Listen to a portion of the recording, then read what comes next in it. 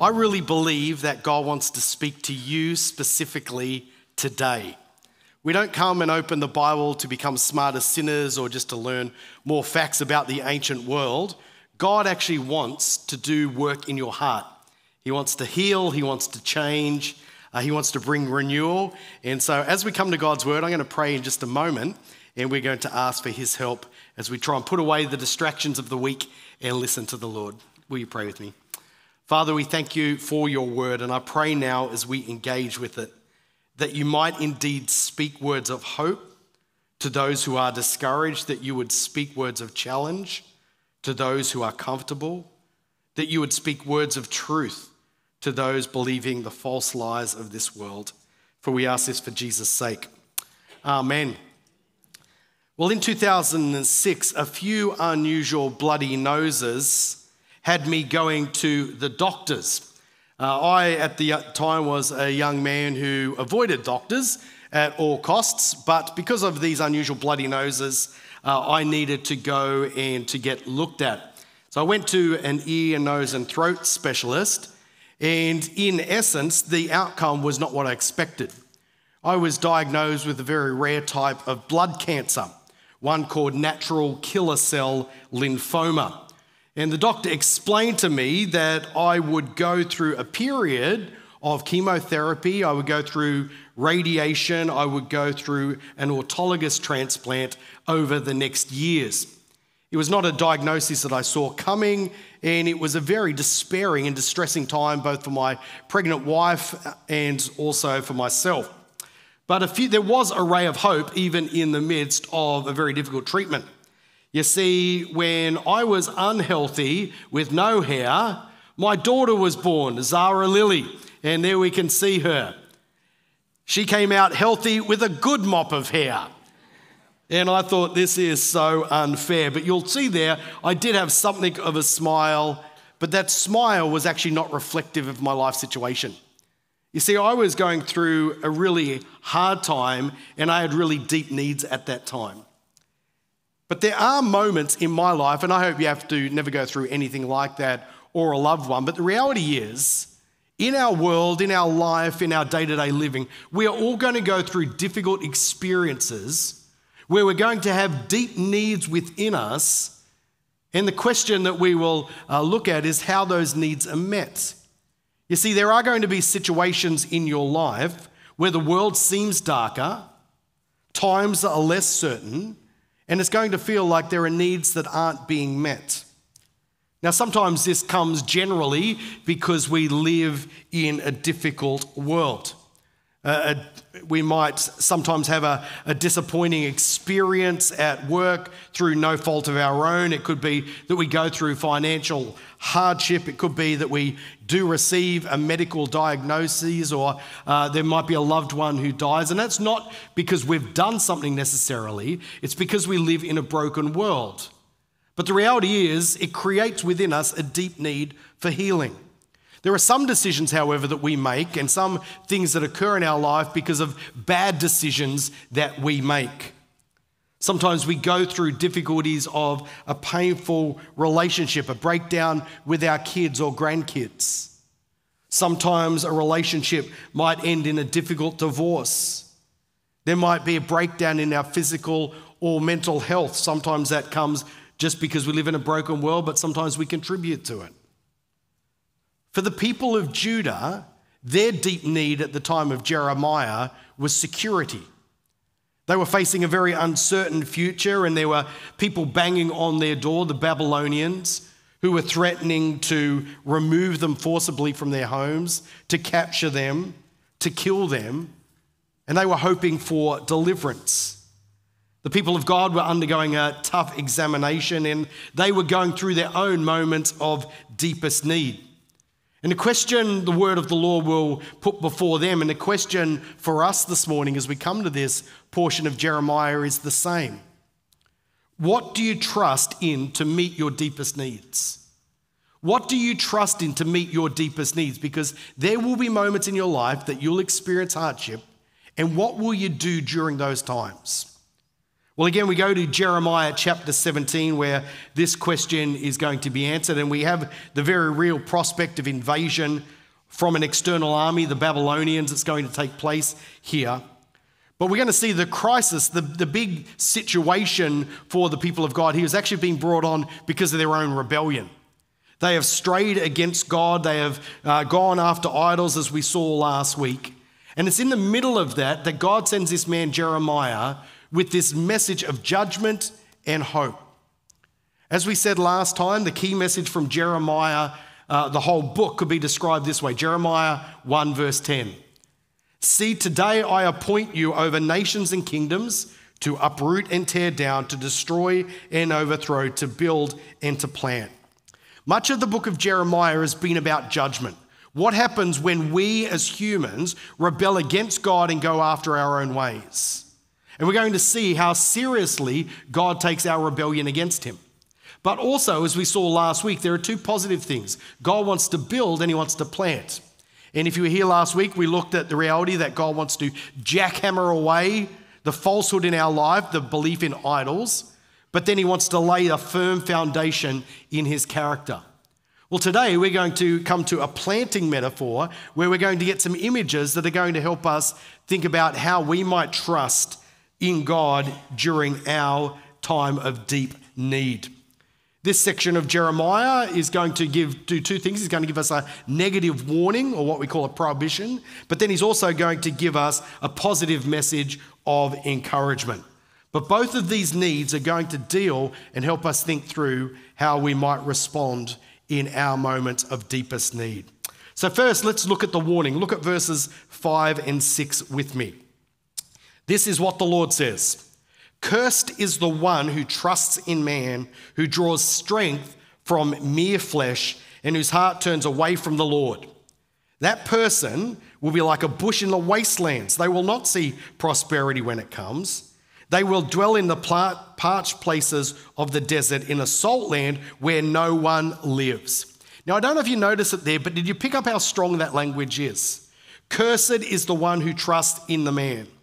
Now, you notice what it doesn't say. It doesn't say the Lord says, disappointed is the one who trusts in man. It doesn't say it's kind of dumb to trust in man. It's a little bit silly to follow man. No, the law wants to make it really clear that cursed is the one who trusts in man. This is a mistake to put in your moments of deepest need trust in humanity. And I think if I was to summarize this first section in verses 5 and 6, it would be this. This is the, the, the word of warning to you this morning. Don't trust in humanity to meet your deepest needs. Don't trust in humanity to meet your deepest needs. There's a couple of reasons for that. And I say humanity, it's not just people out there, but it's don't trust in yourself as part of that humanity. There's a couple of reasons. First of all, humans disappoint because we are finite. The reason we don't trust in humans is because we are finite. There is a limit to what we can do. Again, verse 5 this is what the Lord says Cursed is the one who trusts in man. The people of Judah had gone through an extended period where they trusted a variety of things. They trusted along the way the idols of the nations, which didn't bring any peace, but they also trusted in the leadership of their day who was utterly corrupt and the ones promoting idols. People like Jehoiakim, people like Zedekiah. They trusted in these others, thinking, we have deep needs, we've got security issues, we've got peace issues. We're going to trust in people to solve our major problems. Now, I would suggest to you today there is nothing wrong with voting. There is nothing wrong with getting behind governments. There is nothing wrong with pushing for rulers who are moral and upright. But I want to tell you today the biggest needs that you have, the deepest needs that you need met, will not be solved by humanity. Governments, leaders, politicians, hear me correctly, they all have their place, and we want to prayerfully, as godly citizens, live well in our society. But if we are looking externally for the world to meet our deepest problems, we are going to be disappointed. Cursed is the one who trusts in the man. Humans disappoint because we are finite. Even the best of men are men at best. And the Lord here provides a strong word don't trust in humans. Again, verse 5, we see a second thing humanity disappoints because we're foolish. The reason we don't trust in humanity is because we're actually foolish. Second half of verse 5 Cursed is the one who draws strength from mere flesh and whose heart turns away from the Lord. When we think that we and even our culture, we have the problems and the solutions to the world's problems, we think that we know that we have the answers, that is when we are doomed for failure. And yet, this is what happens. We, both culturally, collectively, but individually, our hearts foolishly turn away from the Lord and we believe the lie that we think that we are wiser than God. There's many ways that we do this, even as a culture, but maybe even you as an individual. When we think, I know what God says about marriage, I know what He says. It's between a male and a female forever under Him. I know what it says, but who are we to make those decisions? Why don't we come up with a different way of viewing marriage? We follow our own hearts and turn away from the Lord. We think differently. We say, you know what? I know God created male and female, but if you want to choose what gender you can be, you're free to do it. And we think we are wiser than God. I will tell you today, it doesn't end well. When we say, I know what God says about greed, I know what He says about lust, I know what He says about anger, but I actually want to do things my way. When we turn away from the Lord and trust our own wisdom, it does not end well. Cursed is the one who draws strength from mere flesh and whose heart turns away from the Lord. Humanity disappoints us in our moments of deepest need because we are foolish. We believe that we are smarter and wiser than God. But thirdly, humanity disappoints us because we're self deceived. We're self deceived. Jeremiah 17, verse 9. The heart is deceitful above all things and beyond cure. Who can understand it? Now, some of you would have seen this before. This is one of the mantras of our day follow your hearts.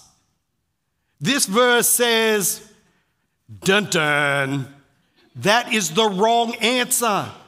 Do not follow your heart. Your heart is deceived. Your heart is not as pure as you think. Your heart is not always motivated by the right things. The heart is deceitful and above cure. If you think your deepest needs in life be that a broken relationship, be that an illness, be that something else. If you think that you have all the answers and the answer lies within and you just need to follow your heart, I want to tell you today, you will be disappointed. Cursed is the one who trusts in man. Do not trust your own heart as ultimately being the thing that will bring you satisfaction and significance in life. Now, to ram home his point here, he picks up a metaphor that's agricultural. As I said, the two positive things in Jeremiah that God's word is going to do it's going to build up and it's going to plant. Well, here he's going to use a planting metaphor, but he first of all gives it negatively in regards to the warning. Look at verse 6. That person will be like a bush in the wastelands. They will not see prosperity when it comes. They will dwell in the parched places of the desert, in a salt land where no one lives. Now, if you were to go down to the Dead Sea area in ancient Israel, as even today, you'd find that almost nothing grows in this area. The salt uh, in the soil allows nothing to grow. Uh, there's very little rain, and as a result, there is very little life. You won't find many trees down there, but you will, if you go far enough, you will find one type of tree. It's a spindly tree, a bush in a wasteland, it's called here. It's called the acacia tree. And the acacia tree sits out there by itself, and even there, this is a healthy acacia tree, but look how ghastly it is. It sits there alone, there's, there's useless. There's not even much shade that it provides. But this is what God's word says. It is like when we trust in ourselves to solve our own problems. We're like this sort of tree. Now, a couple of things we observe about this sort of tree there is no fruitful outcome. This tree doesn't produce pomegranates, it doesn't produce figs. It's in the wrong world and it doesn't produce God's best gift of mangoes. Okay, there is no fruit that comes from this. This is a useless tree. But more than that, the second problem with this bush in the wasteland is that there is no ongoing sustenance. This, they get very little rainfall down in the Dead Sea region, and because of the, the salt in the soil and, and the lack of water about, these things just have a really hard time growing. There is no ongoing sustenance, there is no ongoing life. Now, last year, uh, I went to uh, visit uh, one of my uh, buddies, an old MBMer, Scott Lavender. And some of you remember Scott. I went out to see Scott at his house in Werrington. And the week before, Scott had been excited. He was doing some backyard renovations and he laid some turf. Got some good soil out there and he ordered in this turf from somewhere or other and he laid it and it was fantastic. However, poor Scotty Lavender, his timing was off. You see, he didn't know that a week later, after laying the soil, there would be about five or six days in a row of 40 plus degrees. And quickly, his soil went from green to being not so green. That was because even though he put some water, even though there's a little bit of soil, even though it looked good from the external, because there was no root, because there was no ongoing sustenance, it dried up. And friends, this is the problem when you trust in yourself or you trust in others to solve your problems. There is no continual, perpetual, ongoing life and root system that is going to provide you ultimately with what you need. You're like an acacia bush, a bush in the wasteland. But a third thing about the tree that you notice when you, you're down in the Dead Sea and you see a tree like this, it stands by itself. It looks like a lonely tree. One that's there by itself, there provides very little shade. And this, all these things point to a very negative picture. When you go through your deepest needs, and this is the warning for Judah, you're going through your deepest moments, what are you going to trust? Trust in yourself? You're going to be like a tree that's out there withering, it's not fruitful, there's no life, and you're going to feel very alone. God's warning don't trust in humanity to meet your deepest needs. But then positively, he's going to tell us and give us ex- exhortation in verses 7 to 8 that I would summarize this way trust in the Lord to meet your deepest needs. Trust in your Lord, in, in the Lord to meet your deepest needs. Here, as he regularly does, he puts a big contrast. Last week it was idols versus the true and living God. Here it's the, it's the tree in the wasteland versus, as we'll see, a living tree. It's trusting in yourself or it's trusting in the Lord. Look at verse 7.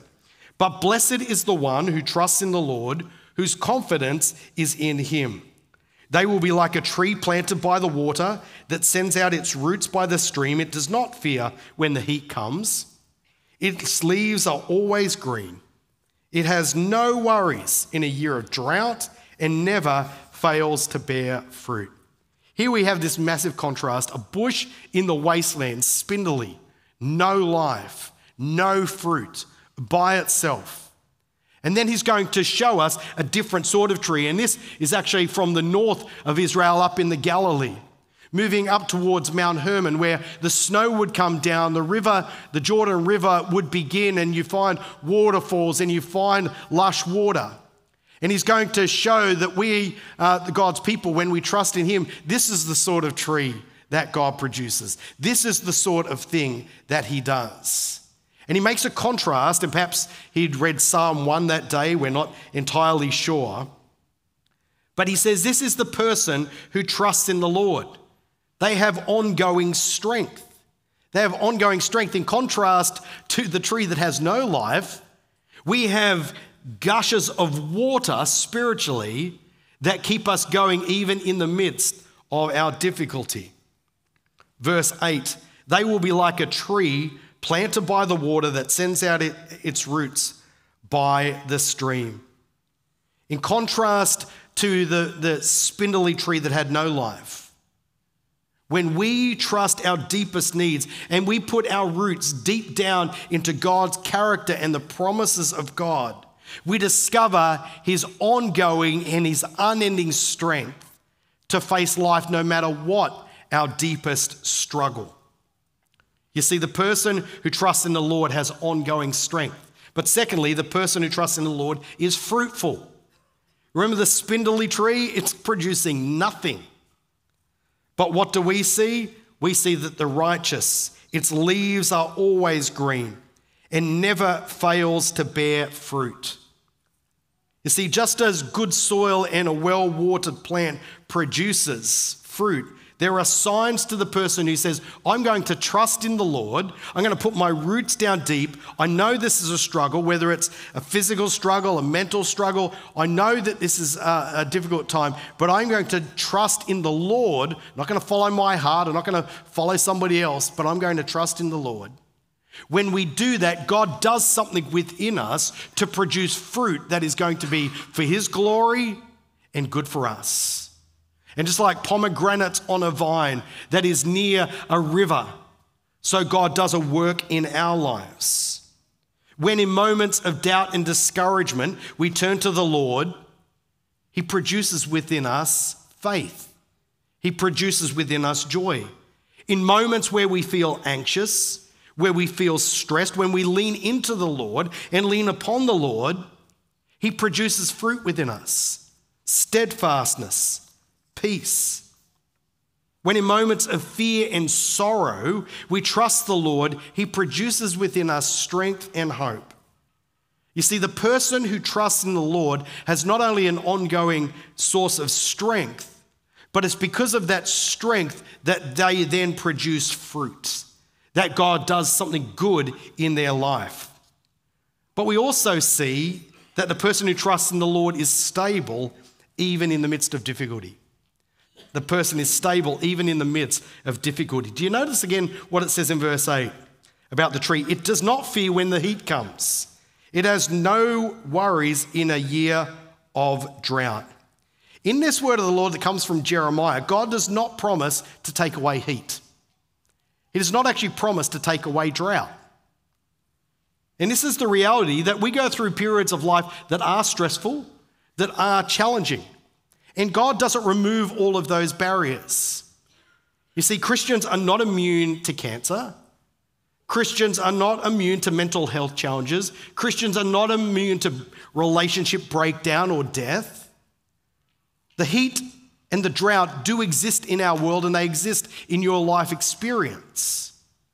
But the good news here that is presented is that when we put down our roots into God, when we trust Him for our ongoing support, we don't fear when the heat comes. It has no worries in a year of drought. Why? Because we know the Lord's got it under control.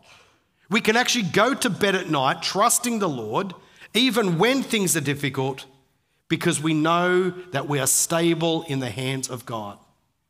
Friends, in this passage, the key indicator is where one puts their trust. Do you trust in yourself, in humanity, or do you trust in the Lord?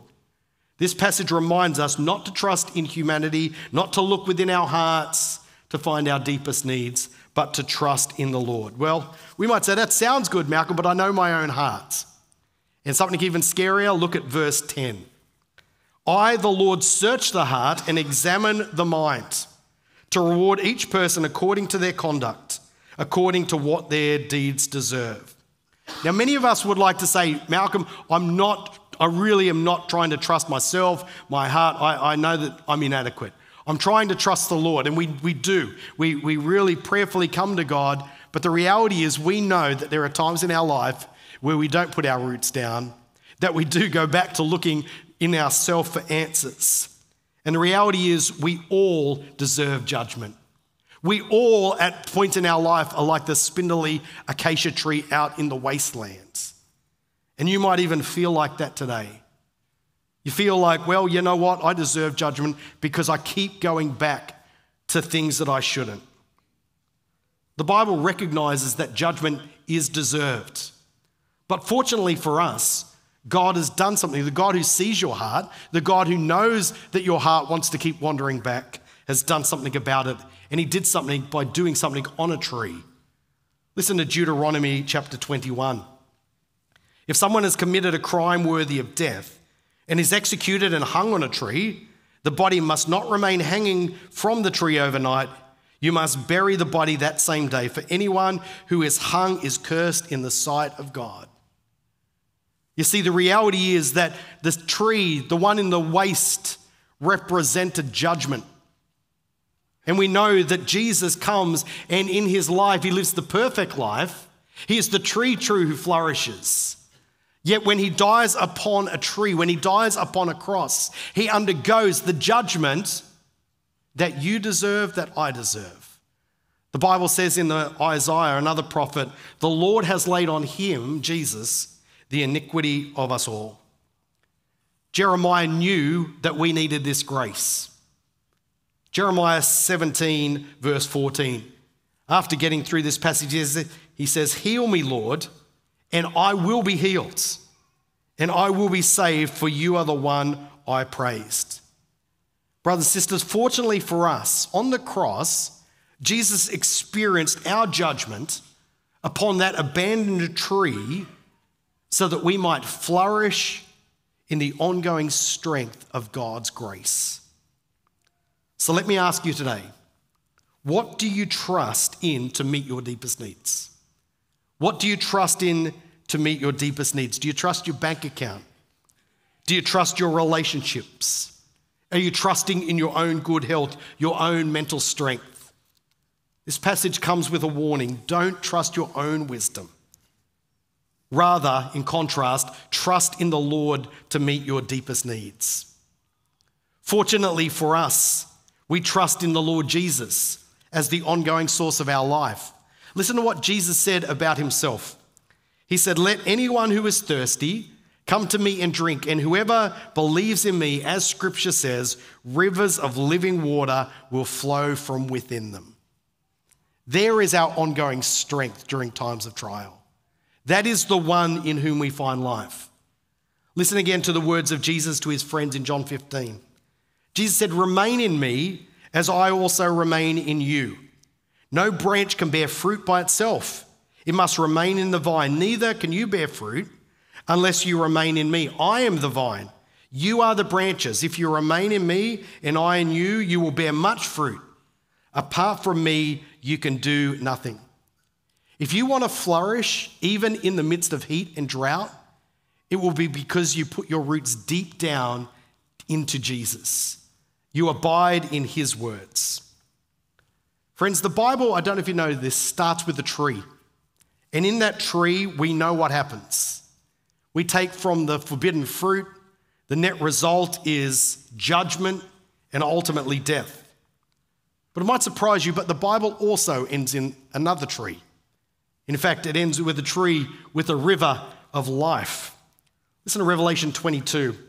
Then the angel showed me the water of life the river of the water of life, as clear as crystal, flowing from the throne of God and of the Lamb down the middle of the great street of the city. On each side of the river stood the tree of life, bearing 12 crops of fruit, yielding its fruit every month. And the leaves of the tree are for the healing of the nations. No longer will there be any curse. Brothers and sisters, right now, many of you are living in drought and heat because of stresses, because of difficulties, because of deep pain. I want to tell you today that's not the end of the story. You see, God will renew, but for now, He won't remove those challenges. But He wants to see in those challenges what will you trust? Or rather, who will you trust? What do you trust in to meet your deepest needs? Don't trust in humanity, but rather trust in the Lord. Let me pray. Father, we come to you as dependent people. Lord, so often our hearts are prone to wander, to abandon you, to seek answers within ourselves. But Lord, I pray that in our day to day living, that we would walk in step with you, trusting in your Son, the Lord Jesus, the one who provides living water, sustenance for us, the one who produces fruit as we lay our roots down deeply into Him. Forgive us, Lord, for so often depending upon ourselves, and help us this week to trust in you for Jesus' sake. Amen.